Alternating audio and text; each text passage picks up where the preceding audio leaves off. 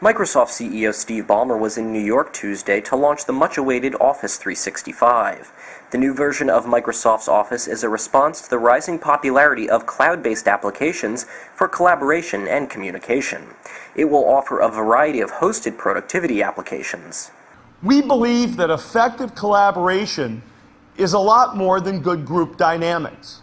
It's a matter of instant access to relevant information of ideas flowing freely, and of the right people taking the right action at the right time. Starting today, Office 365 will deliver on those promises and is available in over 40 different geographies around the globe, with more to come. Officials demonstrated Office 365 capabilities like the ability for multiple users to jointly collaborate and edit documents in real time, not only from PC browsers, but also from mobile devices.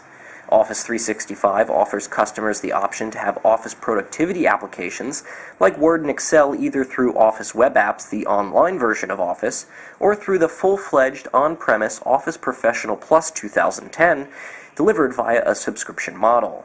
Users can work on documents together while holding an online meeting with multiple people or on a one-on-one video chat.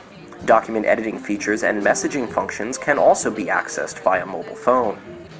Microsoft also brought along beta testers of Office 365 to talk about why they're interested in moving to the new software. The main interest was getting that exchange online, calendaring, sharing, um, having that big business tool for my small business. And having that exchange online lets me and my wife share our calendars with each other, schedule appointments, not overschedule someone.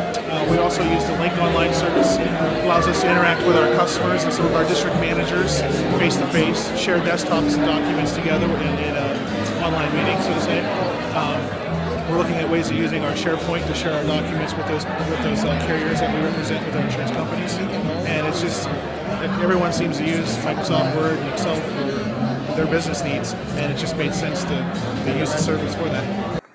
Office 365 comes with a wide range of configuration and price options, starting from an email only version that costs $2 per user per month to the most sophisticated option, which costs $27 per user per month. With reporting by Marc Ferranti in New York, I'm Nick Barber, IDG News Service.